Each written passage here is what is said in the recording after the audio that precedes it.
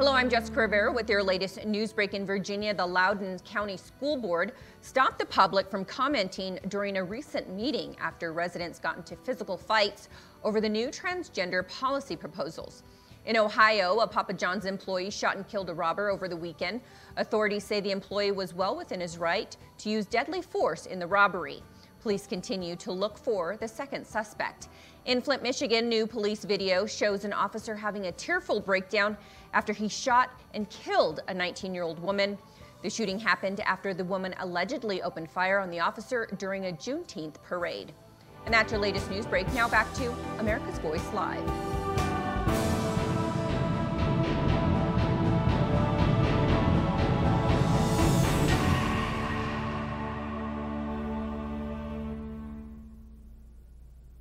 Thank you, Jessica, for that update. Now, this past school year was anything but ordinary for both students and teachers, but now it looks like many of those teachers are choosing not to return. Here in Michigan, teacher retirement increased uh, 44% this past year. California saw a 26% jump, and some are wondering if the country could be facing a major teacher shortage by the time we head back to school in August and September.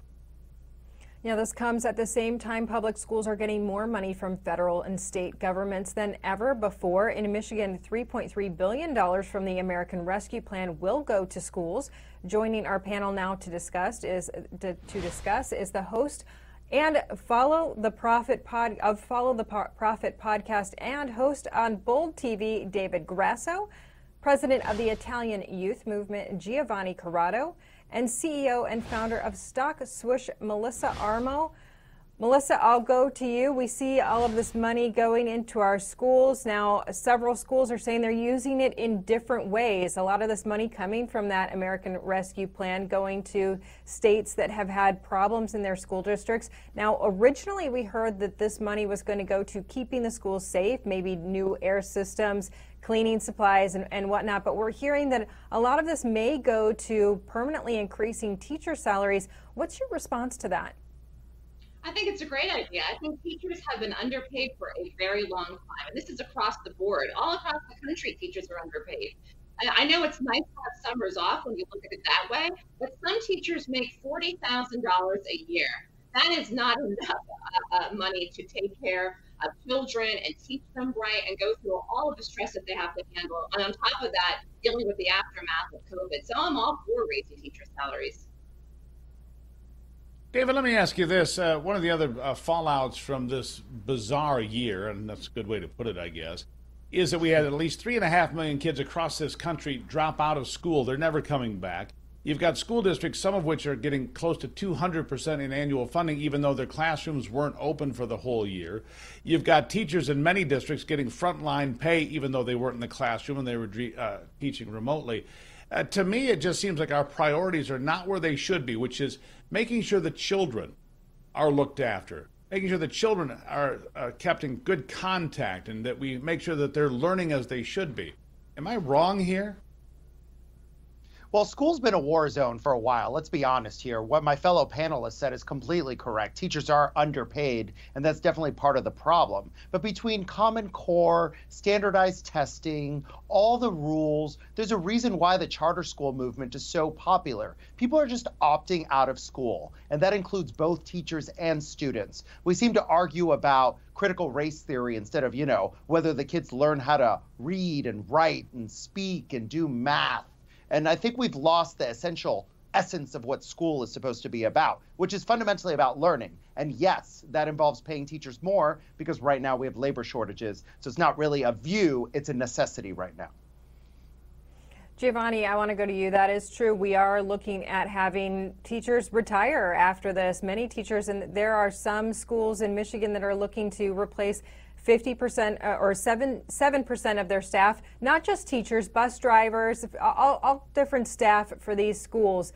Now, a lot of people would argue that the schools actually have money, it's not spent in the right places. What's your response to that?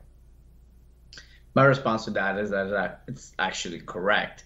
I feel like this is a classic situation where throwing money at the problem um, the Democrats' favorite uh, pastime, it is not uh, exactly the right solution. Schools have money right now. Uh, school districts have the resources in terms of uh, cash, but they don't have the people. And the reason for this, in my opinion, is twofold. First of all, teachers are not valued in this country. They are often undervalued and underpaid. Uh, however, they still need to get very specific higher education in order to perform this low paying job. As a result of these two factors, you end up with a shortage. If you add on top of that, uh, the politics that we've been adding, that the mainstream media has been adding uh, into the classroom with critical race theory or uh, many other issues, such as the transgender issue. Uh, teachers are just de incentivized from pursuing this profession, from continuing to pursuing it. And new young individuals, such as myself, are disincentivized from uh, pursuing it as a college career. All of these fa- factors bundled together uh, ultimately give us this big mess that we see in states such as California and Michigan.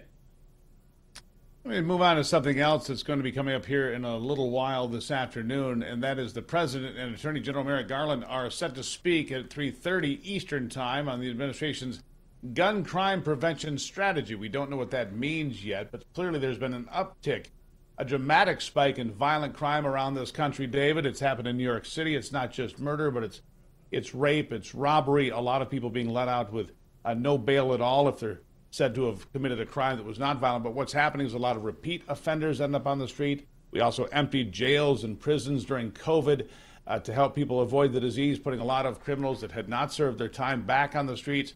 All of these things have created a an unstable place for a lot of folks in their neighborhoods that are concerned about it. What about gun crime? What about crime in general? What do you think's going on?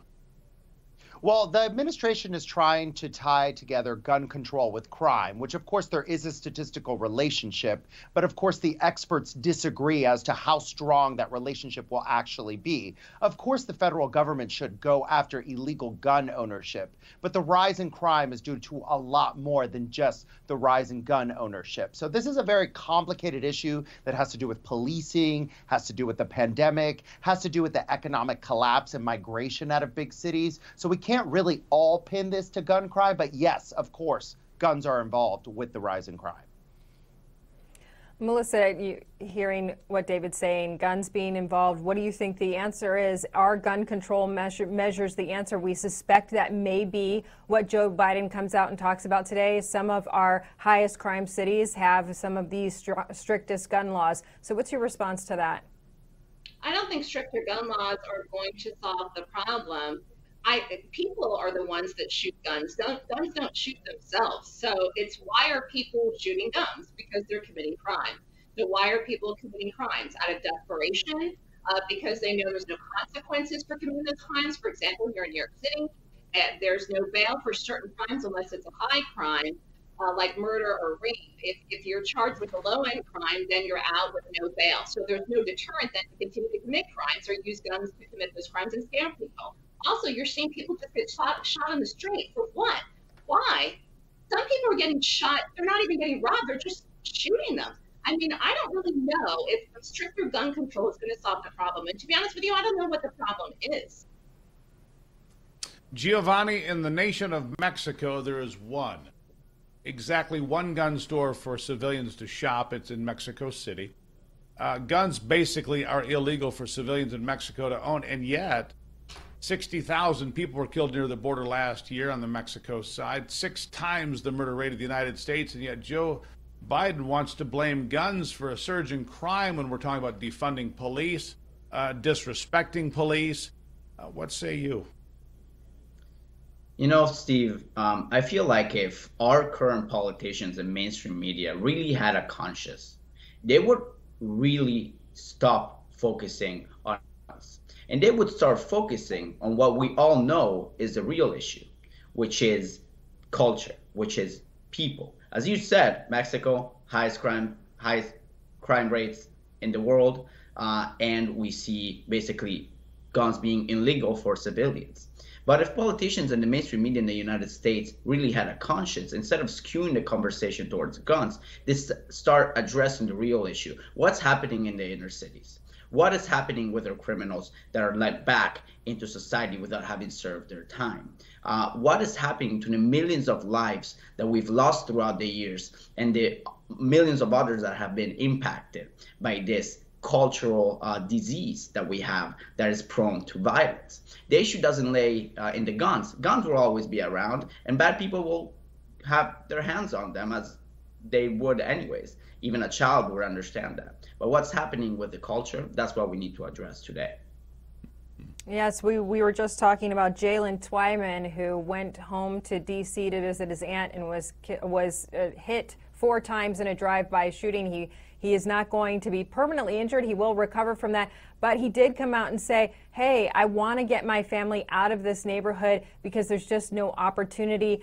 You have to look at the root cause in these high crime neighborhoods. Why isn't there opportunity, and how do we give these people the ability to live a prosperous life filled with opportunity? Thank you, panel, so much. David Grasso, Giovanni Corrado, and Melissa Armo, we appreciate having you on here today. All the rest of you, don't go anywhere. We have Amanda Head joining us after the break. You won't want to miss it.